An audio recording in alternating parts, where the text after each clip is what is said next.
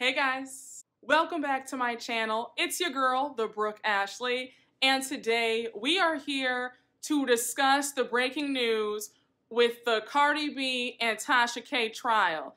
Child, I was editing my SLC video and all the nonsense going on on there when I got the breaking news that the verdict has been reached and Cardi B is the winner. I'm going to read you guys the article right now. I have so much to say about this, but this is definitely a cautionary tale in watching what you say. This article is breaking news from Billboard. Cardi B wins million dollar defamation verdict against malicious YouTuber. A federal jury on Monday, January 24th, sided with Cardi B on her accusations that a YouTuber named Tasha K waged a malicious campaign to hurt the superstar's reputation, issuing a verdict that the woman had defamed the rapper and awarding the star more than a million dollars in damages. Following a two week trial that featured testimony from both women, the jury returned a verdict that Latasha Kebe, known as Tasha K, was liable for defamation and two other forms of wrongdoing over her YouTube videos and other internet posts, which claimed that Cardi B had contracted herpes, among other unsavory rumors. Today's verdict awarded Cardi B 1.25 million in damages, but the total could potentially end up higher. Proceedings will kick off Tuesday to decide whether Tasha K owes additional punitive damages or whether she must reimburse Cardi B's legal expenses. Neither side's attorneys immediately returned requests for comment. Cardi B, whose real name is Belcalis Almanzar, sued Kebe in 2019 over dozens of videos that contained shocking claims about the rapper. One video cited in the lawsuit includes a statement that Cardi B effed herself with beer bottles on effing stripper stages. Others said she had contracted herpes, that she had been a prostitute, that she had cheated on her husband, and that she had done hard drugs. A trial kicked off on January 10th in Georgia federal court, during which both women took the stand. Cardi B testified that she felt suicidal in the wake of Tasha K's videos and said that only an evil person could do that ish. Tasha K initially admitted that she knowingly published lies about the rapper, but she later tried to walk back that statement when examined by her own attorneys.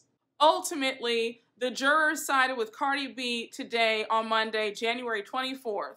In addition to defamation, the jury also held Tasha K liable for invasion of privacy through portrayal in a false light and intentional infliction of emotional distress. Tasha K's lawyers can challenge the verdict to the judge in the weeks ahead. If he upholds it, her attorneys can then appeal the verdict to a federal appeals court. Let me just say that this is a true shame and this is a warning that you cannot say whatever you want about somebody because you don't like them. I don't care how much you dislike a reality TV star or a celebrity or anybody. You cannot make up blatant lies to try to destroy the reputation or their character. This was out of line. Cardi B had already sent Tasha K three cease and desist letters prior, and Tasha K laughed them off and thought that she was untouchable. Let this be a lesson to anybody who's a journalist, a blogger, content creator, whatever. If you are discussing celebrity news, pop culture, you need to be careful about what you say. You cannot add extra sauce to a story. I am not surprised in the least that Tasha K lost. When I was reading the transcripts, when I saw that Tasha K was proud of what she did, she was talking about, you know, I knew they were lies, but I told them anyway. Because it's all about the clicks, it's all about the views, it's all about the money. And I saw that Tasha K was backpedaling about what she had said prior I knew right then and there that this was going to be a win for Cardi. So I'm going to quickly read you one of the transcripts from Law 360. This is from last Friday. It says, when examined by one of her lawyers on Thursday, Tasha K said she extensively researched the herpes allegation and that she typically investigates all stories before publishing them as either fake news or real news. But on Friday, Tasha K admitted she's not a journalist and did not seek information or documentation to corroborate the allegations against Cardi B, even when another YouTuber said she had proof to debunk them. Tasha K admitted that she repeatedly published the allegations after being told by various people connected to Cardi B, as well as the rapper herself, that they were untrue. So that right there let me know that Tasha's goose was going to be cooked because there was substantial evidence and out of Tasha's own mouth that she was contradicting herself. I'm also going to read to you the instructions that Judge Ray gave to the jury on Friday. The judge spoke with parties before the jury entered the courtroom on Friday about his instructions to the jurors and how they would be worded. Judge Ray said there is no specific evidence of Cardi B suffering reputational harm from Tasha K's online content, and any compensation for that should be considered by the jury as part of general damages. The judge said, internet stuff never goes away, and it's possible the jury might consider Cardi B's future reputational harm if they find that Tasha K or her company liable. He said the current tide of cancel culture meant allegations against high profile people, even if untrue, could be long lasting and fatal to their careers. People can take down what they put up, but they can't take down what people have shared. I know a lot of people are not fans of Cardi B, and that's fine. But I am happy that Cardi B won. I think that this is very important to show people that you cannot lie on somebody without there being consequences. I review housewives shows all day long. I have my favorites. I have my housewives that I cannot stand. However, you will never catch me putting some spin to a story. You will never catch me trying to lie on any of them. Ever. I think that this is a great wake up call for everybody to really be careful about what they say. I think that Tasha K became very obsessive of Cardi B and her hatred of her just could not get her to see straight. And now she's in this boat where she has to pay Cardi $1.25 million because she's lost this case. I just think that people need to stop thinking that they are untouchable. You are never too big, you are never too famous or too powerful to be above the law. Wrong is wrong. Again, Cardi B has said and done quite a few questionable things. But you cannot lie on her because you don't like her. And that's just what it is. I also wonder what's going to happen with Tasha Kane, her husband it appears that they both had different stories in court.